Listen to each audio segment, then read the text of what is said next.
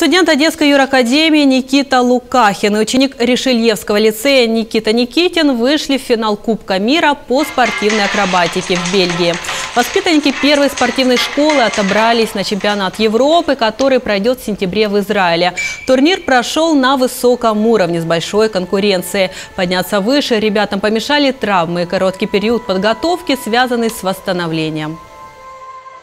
Встретили много сильных команд. Э, к сожалению, из-за того, что мы получили травму с моим напарником, у нас было всего две недели подготовиться.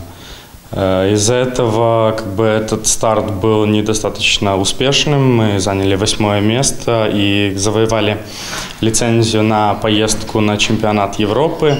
Я сорвал плечо, а напарник мой из-за того, что он спрыгивает с больших э, высот, он травмировал ногу.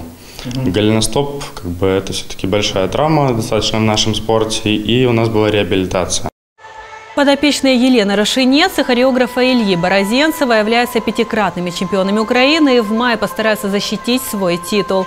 Старшему Никите сейчас 19, младшему всего 14. И Кубок мира в Бельгии был их первым соревнованием среди взрослых.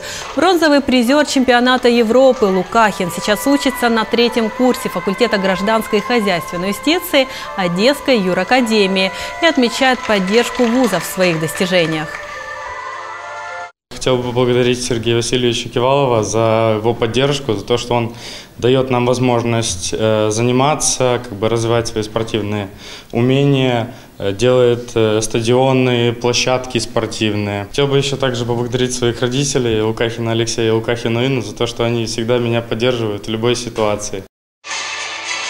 Добавлю, что спортивная акробатика в Одессе развивается также благодаря проведению соревнований различного уровня, которые принимает спортивная база Международного гуманитарного университета и спорткомплекса Одесской юракадемии.